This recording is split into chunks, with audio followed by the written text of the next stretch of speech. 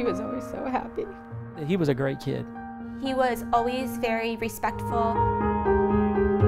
Jordan Spinato was not the most talented or skilled athlete at American Heritage High School, but in the state championship game in 2007, he had an opportunity to etch his name into Florida high school legend. Jordan Spinato, a 5'8 senior who has not attempted a field goal all year. It happened so fast. It was like, let's just give the kid a shot. I thought the last thing in the world was going to happen. He was going to make a 43 yard field goal. We were like, oh my God, what if he doesn't make it? to win a title.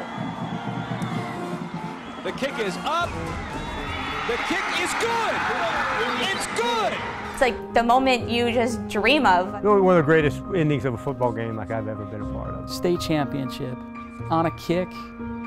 No, that, that, those are things that you see in, in books and you, you, you hear those stories and those myths. Most exciting moment of my life right now. After graduation from American Heritage, Jordan bounced around. He took some community college classes, crashed on some sofas with friends, and even spent a year in California with family. He returned home in the summer of 2013, and that's when his family started to notice a change. The All-American kid with the great attitude was arrested.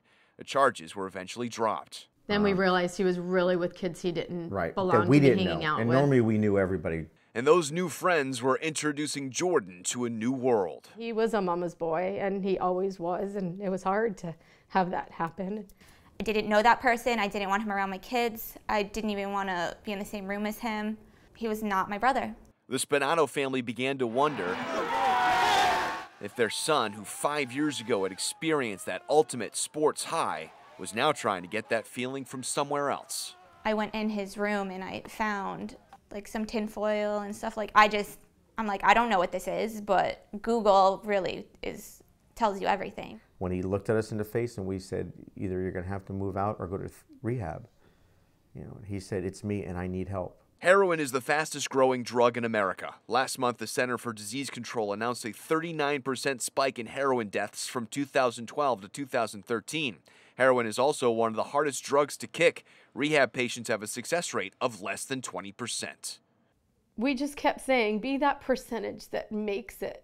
You know, you read all of these horror stories and I guess we were we were the horror story, you know. The worst happened. Jordan spent 40 days in rehab. On his third day home, Claude and Kim walked in on something no parent should see. He wasn't answering the door. And in the back of my mind, I think I knew. My husband had to take the doorknob off and open the door. Fortunately, we found him in our, in our home, but that's better than not finding him at all. You know, he was a kid that you thought had it all, had it all, you know, had it all going for him. I just want to die. Like I I mean it's like the happiest moment. How could how could this kid surrounded by all that love, how could this happen to him? It's like just heart wrenching. Like my heart has a hole in it.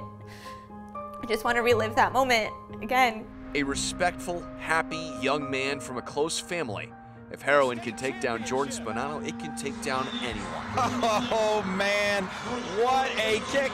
Spinato may have made the kick of his life, but he could not kick the one thing that took it. I'm Matt Lincoln for CBS 12.